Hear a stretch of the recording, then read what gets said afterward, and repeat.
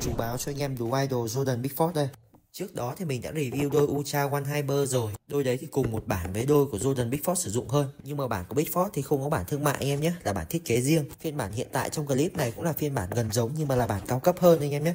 Và bản này có tên là Puma Ultra Ultimate One NC Về tổng quan thiết kế thì cũng na ná nhau. Phiên bản này thì khác mặt bút Đây cái dáng nó cũng dài hơn một chút nữa. Dòng này thì thiên về cảm giác, Cái phần backend rất là mỏng luôn. Được dập thêm một chút họa tiết 3D thôi. Cảm giác thì nó hơi mỏng manh và yếu đuối, Sẽ phù hợp cho anh em nào thích dòng cảm giác. Chất vải là chất vải thun co giãn cao cấp, Trọng lượng của gang rất là nhẹ, Tạo độ linh hoạt tối ưu nhất cho đôi tay Tay cuốn của tay dạng một vòng, Có chun co giãn và cũng rất là mỏng luôn anh em nhé. Đây, điều khác biệt của phiên bản này, Sử dụng mặt mút cao cấp của nhà Puma, Mút Elite dày 4mm Siêu dính và chơi tốt được trong mọi loại thời tiết. Cảm nhận của mình thì dòng này cho độ dính cao hơn Superior của One Hyper và có độ bền kém như nhau. Anh em chơi mấy dòng này, sân cỏ nhân tạo thì xác định là phải có kỹ năng giữ gang tốt nhé không chỉ cần liếm một phát thôi là đi mặt mút ngay ấy. Là dòng form chuẩn sai, kiểu ngón negative và rất là ôm tay luôn. Chất liệu co giãn tốt và tay béo thì phần cổ tay sẽ hơi khó đi vào một chút. Đôi này của mình là size 8.5 anh em nào muốn trải nghiệm thì mình để lại với giá là một triệu sáu. Và chỉ có một đôi duy nhất anh em nhé À, một cái điều nữa là mặt mút của nó vẫn dày 4mm